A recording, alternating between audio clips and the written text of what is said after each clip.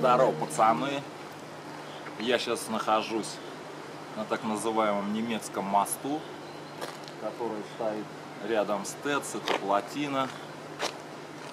Здесь очень прикольно. Оператор, покажите, здесь старинные всякие штуки, очень древние.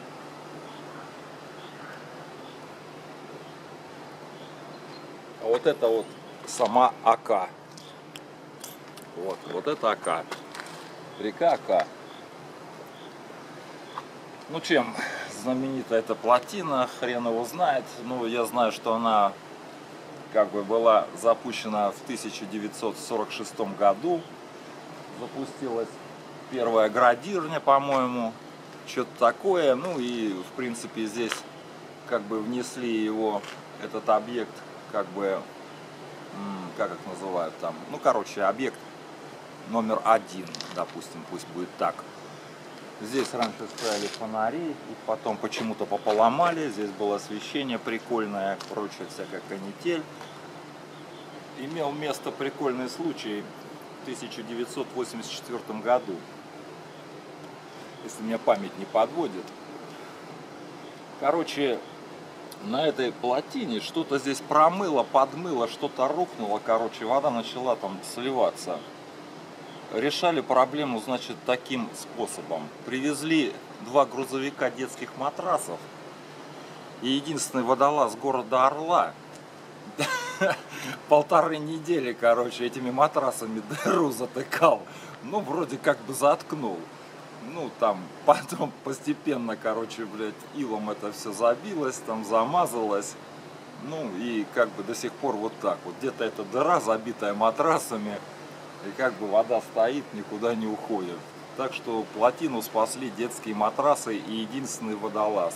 Честь и слава водолазу. Не знаю фамилии, имени, к сожалению, так бы вспомнил добрым словом.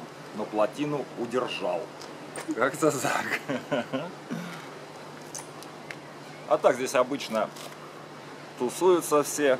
Вон там наверху градирни стоят, труба мы, кстати, все здесь рабы вон той трубы. Солнце через решетку светит. Классненько. Как бы вот туда добраться, посмотреть. Сейчас я вам покажу, что там внизу. А внизу там вещи лютые, страшные. Внизу там вода и очень высоко регулярно здесь пацаны ныряют, потому что со времен СССР там очень много металла затоплено. И вот как бы они туда ныряют, что-то там магнитами поисковыми вытягивают. В общем, деньги делают. Рыбаки вон там ходят, я не знаю, видно, не видно, солнце светит в объектив. Но там вон лазят по мели рыбаки, раков там ловят пескарей и всякую такую канитель. Он там буточка стоит, там охранничек сидит. Бывает сидит, а бывает не сидит. Ну, в общем, здесь проходной двор. Ну, так, объект достойный. Как бы здесь в свое время были очень мощные тусовки. Народ здесь тусовался. Даже я тут на каком-то питбайке мотался. Вот. Стоит как памятник, блин столб великий. О, это памятник вот этой ТЭЦ. Вот такая вот канитель. Ака хороша в солнечном свете, в закатном солнце. Возле плотины наши наскальные живописи различные. Орловские художники рисуют. Картинки, кстати, довольно-таки прикольные. Тут какая-то подстанция, есть забор. И вот на ней все как бы рисуют котиков. Пойдем дальше. И вот еще одна достопримечательность. Великолепный бункер времен СССР. Только он за воротами за дикими.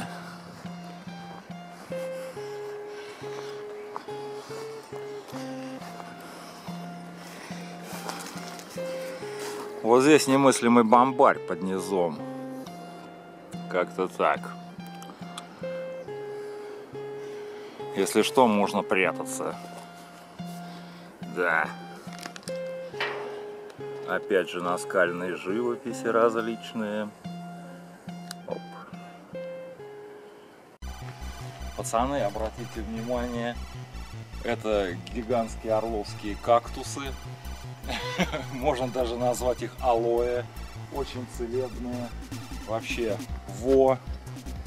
Там можно лечиться, там вот так вот чу -чу -чу -чу, в баню берешь, ломаешь вот эту вот штуку и начинаешь хлестать себя. Вот это вот, можно прям туда в кусты нырнуть и такой... На самом деле, пацаны, это дурман. Можно задурманиться. А вот когда они поспеют, будут такие шишки. Берете семечки, кидаете в рот, прет. У, -у, -у. У нас тут небольшая, как бы это, мексиканская долина. Тут кругом растут вот эти вот славные кактусы. Кругом они тут. Бля, кто тут дурмана насадил? Это вообще что-то нереальное такое. Это вообще. Глянь, дурмана вообще труба. Бля, что здоровый такой вообще. Ужас. Я уже тысячу лет не видел, блин. Кто тут дурман разводит? Глянь, вообще джунгли дурмановые. Это вот сюда вот можно ходить. Ну вообще джунгли. Ужас какой.